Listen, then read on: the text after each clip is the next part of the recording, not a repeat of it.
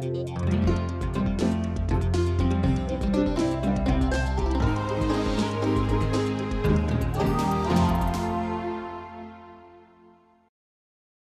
A nagynyári vakáció előtti héten is üdvözlöm a Városi Televízió nézőit. Friss információk és 2003-ban készült műsorok, mint már megszokhatták a hónap utolsó hetében, tíz évvel ezelőtt készült felvételeket bocsájtunk a közjavára a Városi Televízió alkotóműhelyéből. Ám először következzenek a friss információk.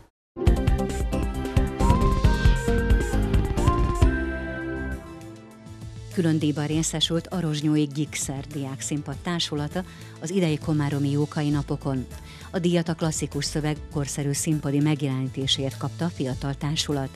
A szlovákiai magyar színpadok seregszemléjén Hans Zax dr. Karolina Só című modernizált komédiáját adták elő Kovács Péter és Kristóf Roland rendezésében. A darab főszereplője dr. Karolina, azaz Benjuk Karolina tévédoki szerepében próbál segíteni a hét főbűnben szenvedő betegen. A próbák a Rozsda Ifjúsági Művészklubban zajlottak, amelynek ötlete Pap Viki nevéhez kötődik. Az Ifjúsági Klub a Magyar Házban található, és tevékenységéről már adtunk hírt a Városi Televízióban. A Gigszer Diák Színpad tagjai gimnazisták, akik az idén második alkalommal vettek részt az országos színpadi seregszemlén. A Karolina Show modern komédia színházi bemutatója az ígéretek szerint Rozsnyón is látható lesz, nyilatkoztak a társulat tagjai.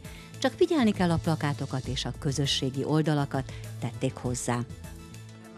Június 27-én csütörtökön tartja sorosülését az önkormányzat. A tanácskozás 13 órakor a Városi Hivatal alaksori tanácskozó termében kezdődik. Előreláthatólag közel 60 programpontot tárgyalnak meg a városatyák újra terítékre kerül a városi krónikás személye. Szeptember 12-13-14-e a Rozsnyói vásár időpontja, amely 2013-ban újra visszakerül a főtérre. Újra tárgyalják a városatyák az önkormányzati ülések tárgyalási menetét. Költségvetési módosítást kér a főtérre költözött Városi Szabadidőközpont az épület fenntartási költségekre, és kisebb felújítást javasol képviselője indítványként Markó Péter képviselő a főtéri kisparkra. A főtéri bányász emlékmű tervezete újra a képviselők elé kerül, amely a látványterv szerint a Tóth József emlékmű helyére tervezte az építész. A felsorolt programpontokon kívül még sok más tárgyalási pont is terítékre kerül az önkormányzat júniusi soros ülésén. Egy azonban biztos, hogy a város polgárai 17 és 18 óra között kaphatnak szót, ha ügyes bajos dolgaikkal eljönnek a tanácskozásra. A Városi Televízió június 27-én élőadásban és az interneten is közvetíti az ülést. Június 23-áig lehetett szavazni SMS-ben két rozsnyói projektért a szlovák gázművek web oldalán. Amíg a Városi Hivatal szabadidős pályázata 348 szavazatot kapott, addig a Rozsnyói KGB Tollaslabda Egyesület 3473 szavazatot gyűjtött. Június 27-én lesz a pályázatok kiértékelése. A Tollaslabda Egyesületnek van esélye, hogy bejusson a sikeres pályázók közé. Aktuális rövid hírek után pedig időutazásra hívom Önöket. 2003-ban már sztrájkkészültségben voltak a pedagógusok. Akkor költözködött új épületbe a könyvtár. Az összeállítás végére pedig becsempésztem egy film etüdöt is. Tóth Gábor versmondása Demjén Ferenc zenei aláfestésével, és tíz évvel ezelőtt készült tanévbúcsúztatós felvételek. Hát nézzük az összeállítást.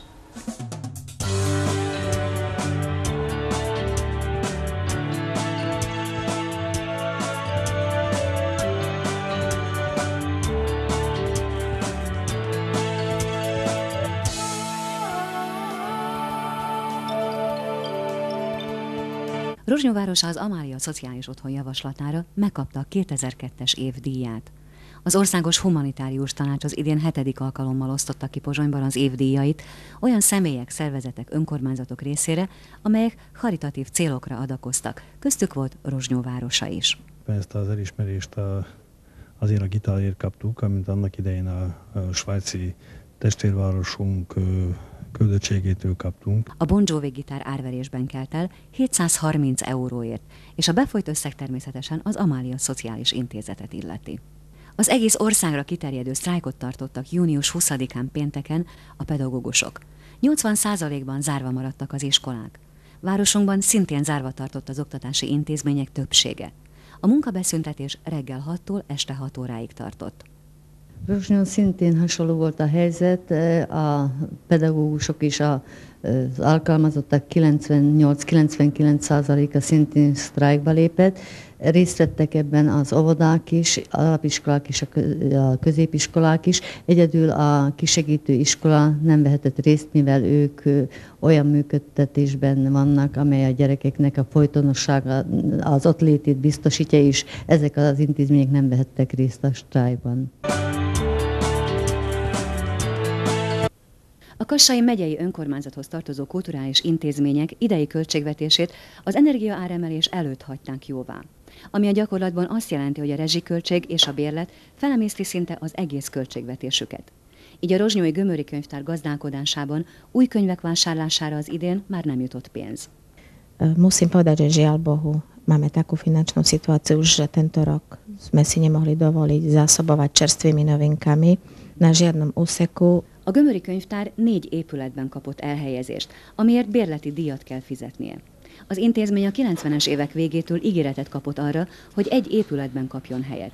A volt járási hivatal a Hásfa utcai óvoda épületét ajánlotta fel az új könyvtár céljaira, és 13 millióba kerül az épület teljes rekonstrukciója. Jó hír, hogy az utolsó megyei önkormányzati ülésen sikerült jóváhagyni még egy 900 ezer koronás tételt az épület végleges befejezésére amely egy speciális lift elkészítésére lesz a mozgássérültek részére.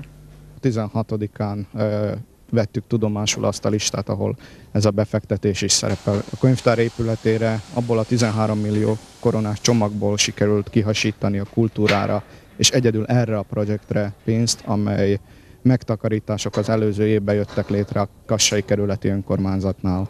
A Gömöri Járási Könyvtár közel 100 ezer könyvvel rendelkezik, ennek 18%-a tehát körülbelül 18 ezer szolgálja a magyar könyvtár látogatókat. Máme spoluprácu s vydavateľstvom Madáč a priamo nám oni chodia ponúkať. Napríklad Mererácio alebo ostatné maďarské vydavateľstvo? Nie. Nie, akože nie sme v styku s nimi. A járási könyvtár új épületét szeptemberben adják át rendeltetésének. Nem lesz egyszerű dolog a 100 ezer kötet, tehát 45 tonna kötet elszállítása az új épületbe. De ez már egy másik történet. Szombat délelőtt. A jótékonysági focigála helyszínén vagyunk a megszépült Rozsnyi stadionban. Folyamatosan érkeznek szülők, iskolabarátok, támogatók az egésznapos jótékonysági rendezvényre. Bizony az emberek nagyon szépen adakoznak, vegyesen, ki kisebb összeggel, ki nagyobb összeggel, ami mondhatom, hogy 20 koronától 1000 koronaig terjedő összegekről van szó. Nem látom, hogy mennyien adakoztak, de azért fog segíteni mindenképpen. A szervezők félszemmel délelőtt még a szürke égboltot kínálték, kinyílnak-e az égcsatornái délelőtt 10 óraig olyan könnyes szemekkel járkattam fel, és néztem az égboltot, mi is lesz itt valójában, de azt hiszem, hogyha körülnézünk, akkor minden rendben van, és a reményeinket, amit hozzáfűztünk ehhez a rendezvényel, úgy gondolom, hogy teljesítettük. Egyre többen vagyunk, reggel úgy nézett ki, hogy nem lesz sok nép, hál' Istennek az égiek meghallgattak bennünket, és most úgy néz ki, hogy egyre többen jönnek. Szerintem elegen leszünk. Még egy-két órás elegen leszünk, biztos helyzet állt fönn az iskolánkon, hogy 205 növendékkel ma holnap kinőjük az iskolánkat, és egy iskola bővítési programot dolgoztunk ki, amihez segítséget nyújtana az itteni bevétel és az itteni adományok. A jótékonysági futballmérkőzésen befolyt anyagi segítség alapítványi támogatásokkal kiegészítve lehetőséget adna további osztályok kialakítására. Egy alapimpulzust ad a fejlődésre, többi az iskolán fog múlni, hogy ezt a pénzt hogy fogja alkalmazni, mire fogja felhasználni. A futballstadionba aztán dél körül minden jeles foci csapat megérkezett. Gyors öltözködés, egy kis bemelegítés, taktikai megbeszélés, mindenki elfoglalta a helyét. A csapatok felálltak, és a rendezvény egyik legfelemelőbb pillanata következett.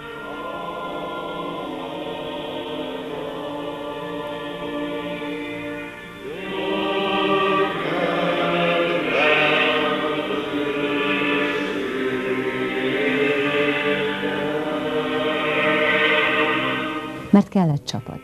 Ez volt a focigála jelmondata. Kezet fogni az ellenféllel, igazi csapatjátékossá válni. A Magyar Koalíció pártjának csapatában a helyi képviselők mellett két miniszter és parlamenti képviselők is futballoztak. A napi politikát feletteti egy-egy gól, rúgás, cselezés, ám a taktikázás a politika fontos része.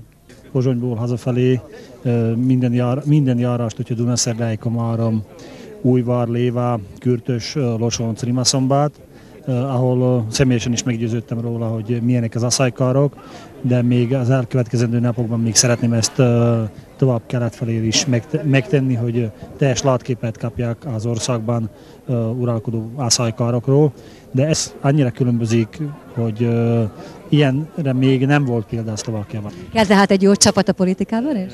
Kell egy jó csapat, kell egy jó állóképességű csapat. Ennél valószínűleg sokkal jobb, mint amit most produkálunk a focipályán. Üde színfoltja volt a rendezvénynek a felvidéki fiatal református lelkészek csapata. Szeretnénk ezt, mint egy szolgálatot, mint egy alkalmat kihasználni arra, hogy egyrészt segítsünk is, másrészt, hogy, hogy bizonságot tegyünk a hitünkről, hogy ennyire nyitottak is vagyunk a világ felé, jó értelemben. Kétszer 20 perces félidő volt a mérkőzések hossza. Ime egy bírói vélemény. Nagyon fair play, nincs semmi veszekedés, semmi brutalitás, nagyon sportszerű. És néhány vélemény a lelátóról. Többet szalad a labda, illetve a labda mozog, nem ők, úgyhogy... Kinek drukkolt? Hát amelyik a jobbik, nyerjen a jobbik. Kinek drukkol? Hát a rozsnyaiaknak drukkoltam, de sajnos meg elvesztették. Nem esik az eső, és mindennel meg vagyunk elégedve. Bizonyára igen. Én azt gondolom, hogy egy győztes mindenképpen van. Meg lesz a református iskola. Drukkolunk neki. A jótékonysági focigálán végül igazságos küzdelemben a színészek csapata győzött. A győztes csapatnak kiáró trófeát esetünkben egy kristályvázát nyújtott át a város polgármestere, Kardos Ferenc, a csapatkapitánynak. Igazából meg kell, hogy mondjam, bennünket nem, a, nem érdekel annyira, hogy ö, mi lettünk a torna győztesek, sokkal jobban érdekel az, hogy itt vagyunk, és itt lehetünk. Hát ö, ha felvidékre jövünk, vagy a határainkon túlra, azt gondolom, ez pedig egy küldetés számunkra. Második helyen végzett a Magyar Parlament válogatottja. Harmadik lett a Magyar Koalíció pártjának csapata, végül a negyedik helyen a felvidéki református lelkészek csapata végzett. Mindig arra mennék, hol semmi remény, át kell lépnem a sors küszöbén. Mindig arra mire semmi esély, s végül elnyerem én. Jövök ne félj.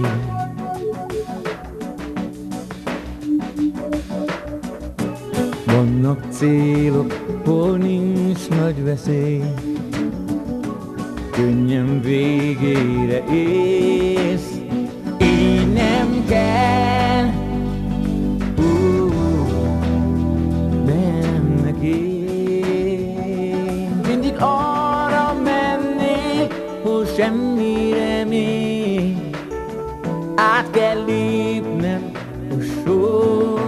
sors küszöbén.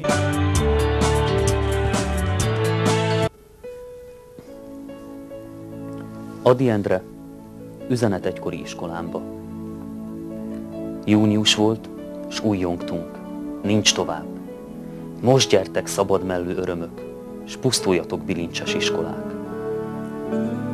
De elcsitult a jóket förgetek, s helyére ült a döbbent némaság. Köröttünk már az élet csörtetett. Ugye voltál gyermek, mi most is vagy. Lerohantak az évek, az idő elhagy. Bámuló szemmel, újra nyíló szívvel játsz minden át, mit az élet kínált neked. Ó, ifjúi szent megjózanodás, komoly nagy fény, hős férfiú szerep. Emléketek ma is milyen csodás. Hős harc az élet, és megélni szép, ha hozzáedzik tüzes szívkohók, ifjú vitézlők lengetek szívét. Ha élet zengi be az iskolát, az élet is derűs iskola lesz, és Szent Frigyüket így folytatják tovább. Én iskolám, köszönöm most neked, hogy az eljött életcsaták között volt mindig hozzám végüzeneted. Tápláltad tovább bennem az erőt, szeretni az embert és küzdeni, s hűnálni meg Istens ember előtt. Június van, és nagyon magam vagyok. És kísértenek élt éltem árnyai, s az elbocsátó iskolapadok. Azt mondom, játszunk tovább, újra álmodjunk hát, mint a felnőtt gyermekek. Még mindig tiszta a szív, és a valami hív kell, hogy újra ott legyek. És én, szívem fölemelem, és így üdvözlöm a mindig újakat. Föl, föl fiúk, csak semmi félelem. Pár zordaharc, megéri a világ, ha az ember az marad, ami volt. Nemes, küzdő, szabad lelkű diák. És eljöhet egyszer, hogy azt hiszed, mert ő szajú lettél, öregebb szíved, pedig most érzed, gyermek lett a lelked, és szállnál még, ahol még szebb az ég neked. Azt mondom, játszunk tovább, újra álmodjunk hát,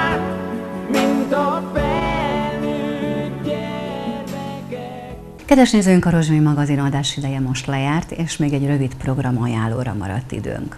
A kétnapos Gombaszögi Kulturális Fesztivál július 6-án konferenciával kezdődik a Csemadok székházában, majd vasárnap Gombaszögön folytatódik. 15 órakor kezdődik a Meseudvar a Salgótarjáni kerekperec közreműködésével. 16 órakor pedig népművészeti gála várja a Gombaszögi völgybe érkezőket. 18 óra 30-kor Bangó Margit koncertje, majd este fél kilenckor az Ossian együttes koncertje zárja, sorrendben az 55. Gombaszögi Kulturális Fesztivált. A belépődíj 6 euró és 8 euró lesz a helyszínen.